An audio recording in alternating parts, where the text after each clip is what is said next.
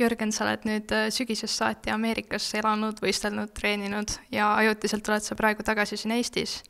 et äh, sa oled väga lühikest aega Eestis, ma kujutan ette, et äh, sul on graafik üsnagi täis, et kas Eestis äh, käimine on pigem puhkus või sa pead sellest omakorda puhkama uh,? pigem puhkus, ma arvan praegu, et uh,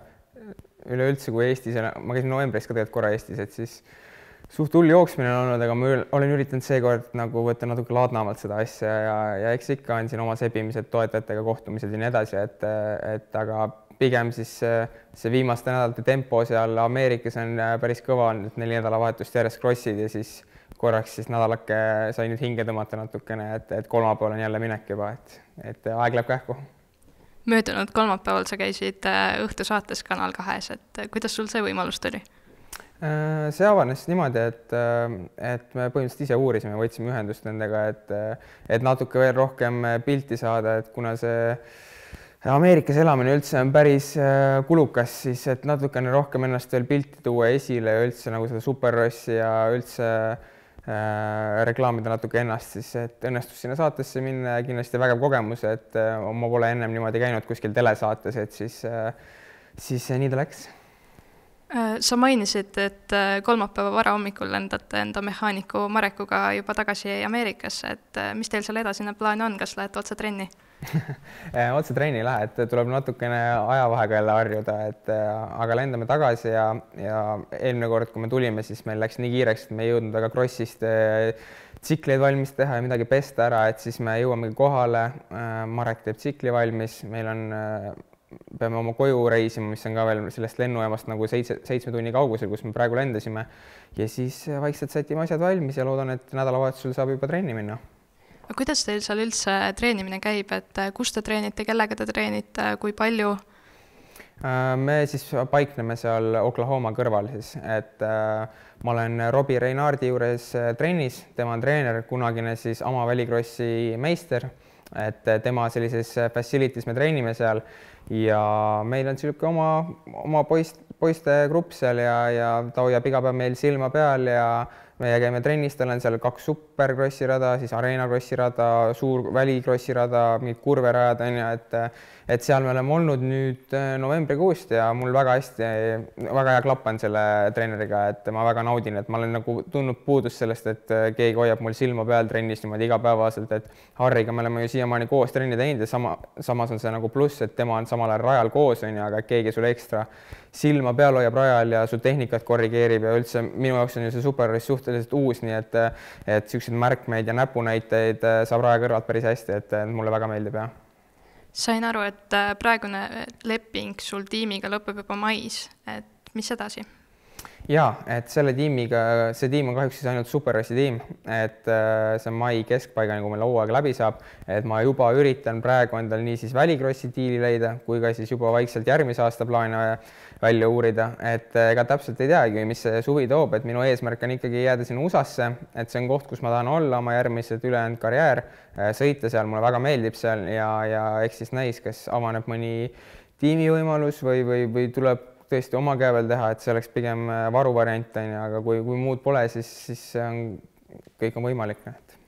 sul on äh, väga suur motokrossi kogemuste pagas, aga nüüd oled siis äh, maitsnud nii-öelda seda superkrossi elu ka, et äh, ma pean küsima, kas motokross või superkross?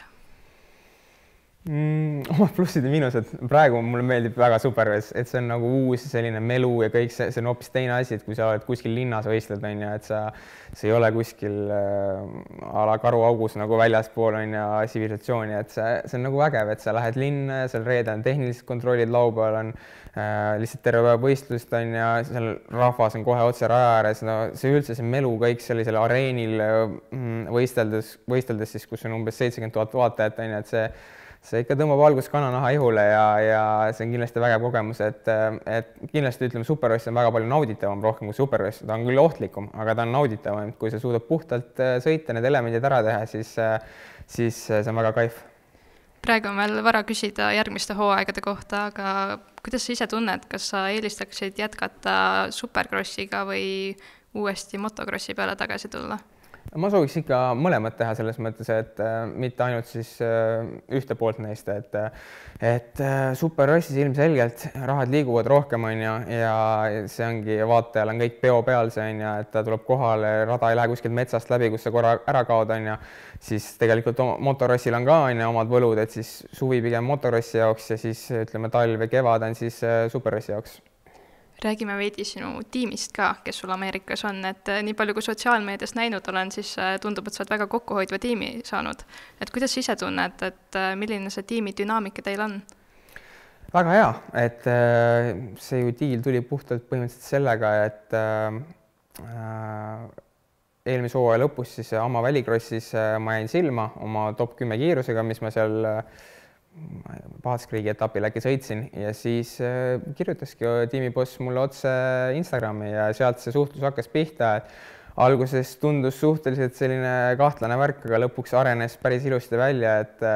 et eks see oli mõlemale meile suur riski business on ju, et tema, kui võtab välismaa sõitja enda ja hõlma alla, kes pole elu sees kordagi superrassi sõitnud, on ju, mina kui minu poolt suur muudatus liikudes siis Euroopast MXGP sarja sõites superrassi on ju.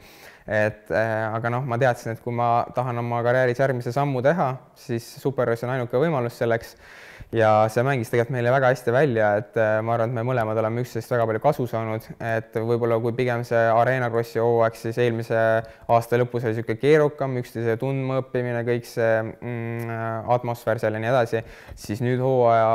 ütleme, aasta algus on väga nagu hästi läinud ja, ja koostöö on väga hea, et et äh, ma olen väga palju õppinud seda näiteks sotsiaalmeedia poolt oma tiimilt on ju, et alguses võib-olla vaatasin natuke mööda sellele asjale, siis nüüd ma nagu saan aru, kuidas võib-olla välismaal rohkem need toetajad on ilmunud ja kuidas see asi liigub, see business seal üldse ja ja Ameerika nagu võimaluste maa, et siis äh,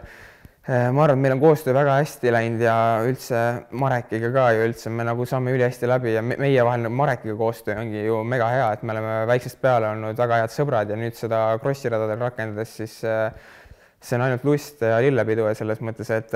et kui teda poleks, siis ma ütlen, et väga-väga keeruline oleks seal üksinda olla, et mul on väga kindel tunne, kui mul on selline mehaanik selja taga ja ma saan usaldada, et mul tsikkel kahe ala vahel on töö korras rajal. et ja tiimiboss ka, et eks ta jah, eks ta alguses niisugune võõras oli, aga nüüd me oleme väga hea klapi saanud jah, et äh, ühised kaardimänguturniirid ja kõik selline. ja et see kõik ju tegelikult äh, algab lõbust, et kui sa seal boksi vahel suudad äh, kriipsu kõrvuni hoida ja nalja visata, siis avaldub ka rajal on ju, et et sellised väiksed lihtsad asjad võib-olla, kus viimastel aastatel välismaa tiimides on niisugune professionaalselt taga aetud, professionaalsust taga aetud või midagi sellist, siis temaga on just nagu olnudki niisugune võib-olla mängulisus natuke ja noh, mul ei ole tiimi poolt otseselt mingeid pingeid, on ju, et et võib-olla ma mõnikord ise panen neid pingeid rohkem peale endale, aga, aga eks see noh, see tiim on kaks aastat sõitnud ainult superrossi ja ja nad ei ole ühtegi korda saanud superrossi finaali peale, on ju, siis ma olin väga lähedal sellele ja ma olen väga häid tulemusi toonud tiimile, et kõik need toetajad, kes on olnud tiimi taga, nad on nagu väga rahul minu tegemistega olnud ja, ja ja see koostöö nagu toimib väga hästi, et eks see on ikka raske selles mõttes, et esimene aasta, esimesed aastad ma tean, et kui ma Ameerikasse liikusin, siis hästi palju väljaminekuid on ja pool selline, pool enda käe peal tegemine on ja võib-olla, et võistlustel rohkem on selline toetus ja pagas tiimi poolt on ju, sest nädala sees ma põhimõtteliselt ise hakkama saama, on ju, oma jupid, kõik treeningtingimused on ju, elamised ja nii edasi, et siis siis eh, eks see algus, algus on ikka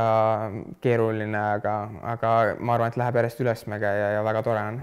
ma saan õigesti aru, et siis tiimi poolt sul otseselt niisuguseid tulemuslikke nõudmiseid ei ole ette antud?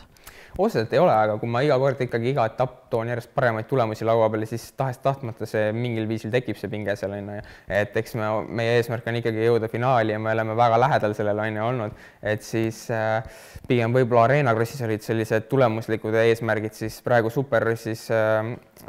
see on nagu selline õppimine rohkem ja, ja ma võib-olla ise ka vahest nagu mm, kuidas siis öelda kannatlikkusest võib-olla jääb natuke puudu, et panen ise natuke seda pinget endale peale, aga, aga tiimiga ka ja nagu ei ole olnud sellist äh, mingit push imist hullu, et, et niisugune hea lõbus õhkkond on, õhkkond on olnud ja me üritame seda ka nii-öelda siis Marekiga sellele tiimile seda väikest lisa anda ja promo neile teha, on see siis sotsiaalmeedias mingite to-, toetajate toodete või mingite asjade jagamisega, et, et see on meile päris selline uus pärusmaa olnud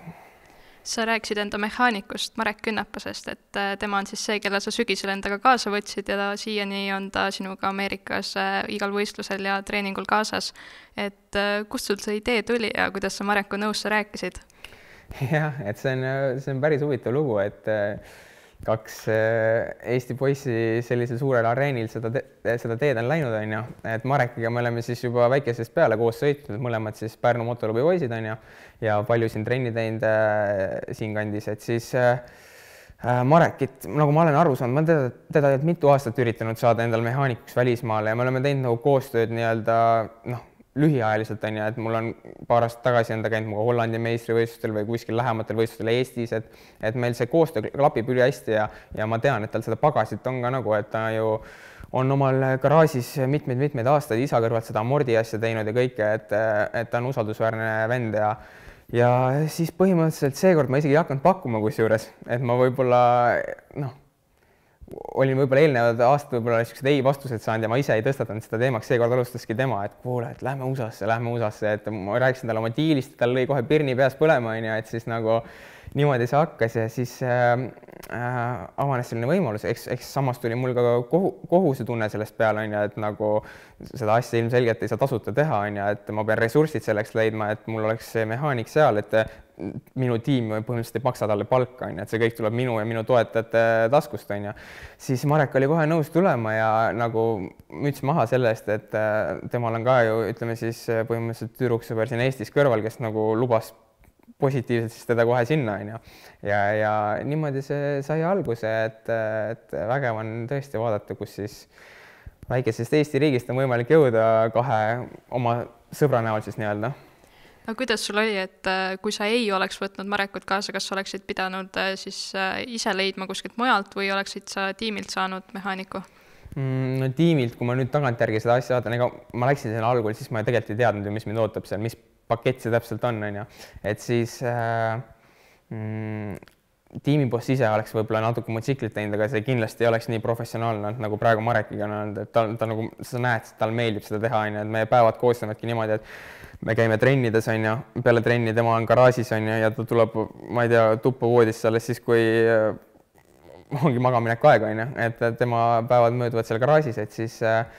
ma ei ole, ma ei tea, ma ei mõtelnud selle peale, mis võib siis juhtuda, et ma üritasin kõik selleks teha, et Marek minuga kaasa tuleb, leida need vahendid ja võimalused, sest et ma tean, ma olen juba välismaal üksinda elanud päris äh, mitu aastat, on ju, et üksinda see fun tihtipeale kaob ära, on ju, aga oma sõbraga koos seda asja tehes, siis äh, äh ma ei kujuta ette, ma arvan, see oleks väga keeruline olnud, kui ma oleks pidanud üksinda sinna minema.